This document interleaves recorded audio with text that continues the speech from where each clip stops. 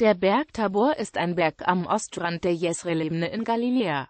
Er war einst eine berühmte vorchristliche Kultstätte der Antike und soll nach christlicher Überlieferung der Ort der Verklärung Jesu Christi gewesen sein. Sein isolierter Standort und seine Höhe von 588 Metern sind sehr markant, der Gipfel liegt mehrere hundert Metern über der umgebenden Landschaft und ist auch heute noch ein Ziel von griechisch-orthodoxen Pilgern und von Touristen. Geologie Der Berg ist ein Inselberg, ein isolierter Hügel bzw.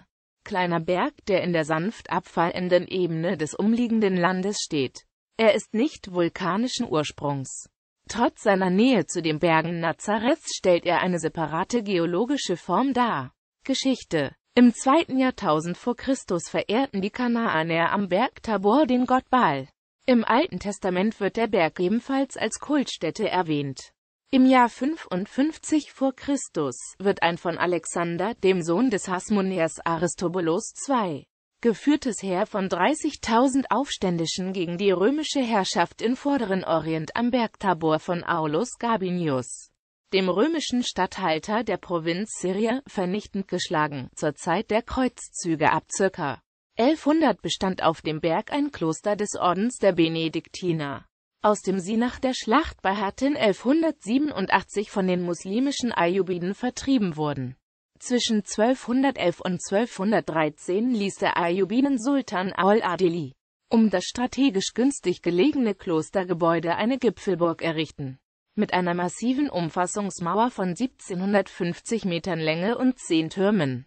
Im Dezember 1217 wurde diese Burg auf dem Berg Tabor erfolglos vom Heer des fünften Kreuzzugs unter König Andreas II. von Ungarn belagert.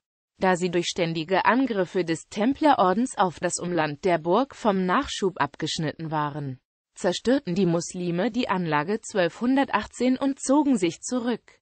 Spätestens 1241 gelangte die Gegend wieder in den Herrschaftsbereich der Kreuzfahrer und es siedelten sich wieder christliche Mönche auf dem Berg Tabor an. 1255 überreignete Papst Alexander IV. die Anlage im Namen der dortigen Mönche an den Hospitaliterorden.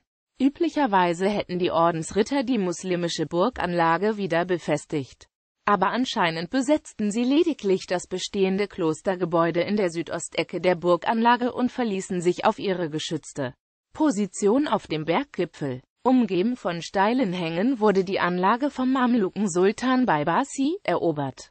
Ein nahendes osmanisches Entsatzheer unter Jetza Ahmed Pascha wurde während der Belagerung von Akkon am 16. April in der Schlacht am Berg Tabor von den zahlenmäßig deutlich unterlegenen Franzosen bei Napoleons Ägyptenfeldzug in die Flucht geschlagen.